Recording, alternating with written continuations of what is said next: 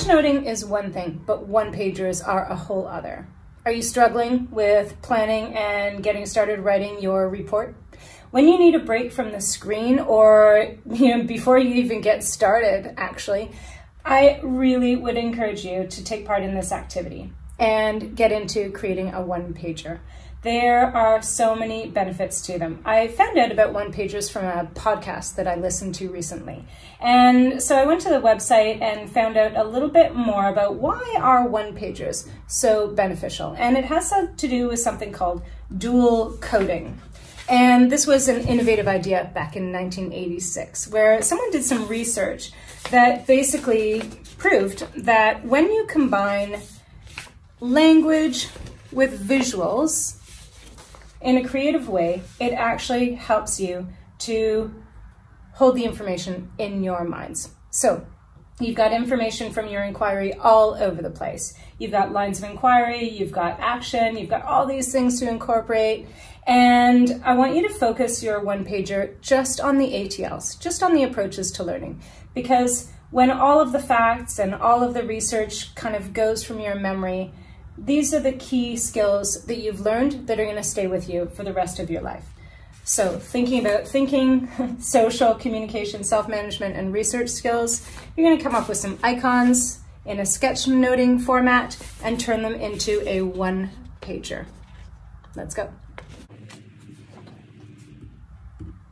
Oh, I almost forgot.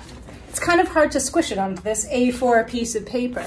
And so you might be lucky, like me, and have some scrap A3 pieces of paper lying around, but maybe not.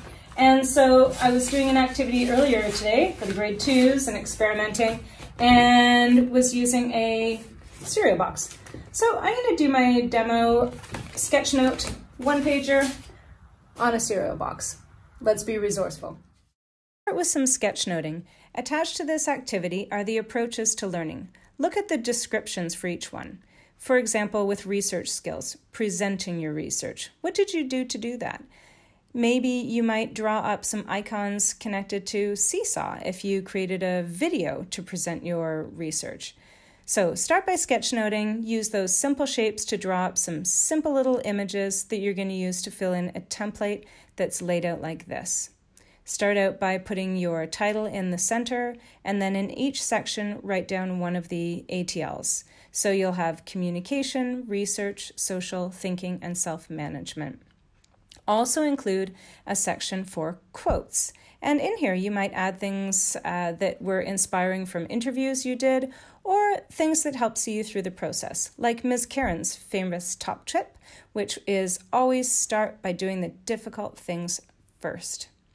You can start out by drawing the icons or images that you came up with in your sketch note and then adding the words along the way. Or you can start by just drawing in all the images that come to mind connected to what you learned and then fill in the words around them. It's completely up to you. Write down the things that you really struggled with at the beginning, like with your social skills, Maybe you became much more open minded as you worked with your group and got to know the people better. Or maybe with self management skills, you're still struggling with time management, and that is something, an area to work on. So, start out by sketchnoting, come up with ideas for images connected to the approaches to learning, draw up your template, and then start filling it in. Start with the icons first and then the writing, or do it together alongside each other. Remember to include the learner profile in there as well and which areas of the ATLs they connect to. If you want to use a different design, that is completely fine. Here's another example. And you may do this activity in the early stages to help your writing or when you've finished your report as a celebration of your learning.